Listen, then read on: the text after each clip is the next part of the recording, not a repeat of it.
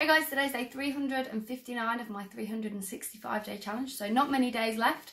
Um, make sure you watch the video and let me know what you think.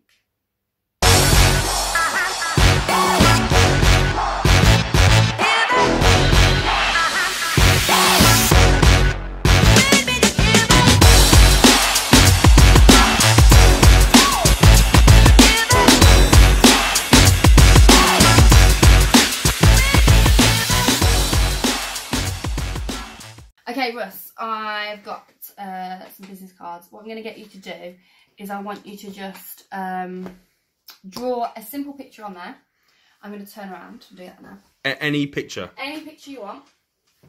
Something simple. Something that, you know, It's not too obscure, but This pen's not very good, but it's a pencil. uh, that's probably why it's not very good. Okay, then just turn it over when you've when you've done it, obviously.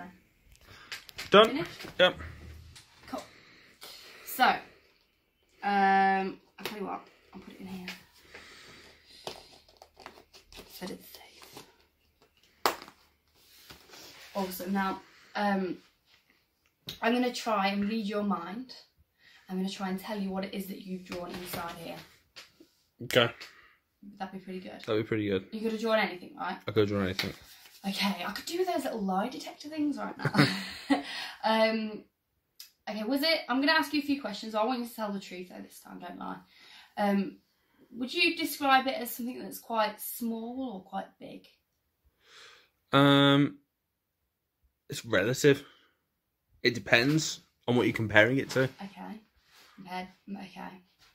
Um, is it something that you have? Uh, Yeah. You do. Um, as far as things that you own go, is it something you own?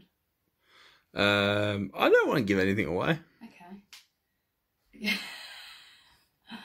okay. Um, I feel like it's something quite big um, in my head. Maybe, um, maybe like a like a building or I'm not saying anything.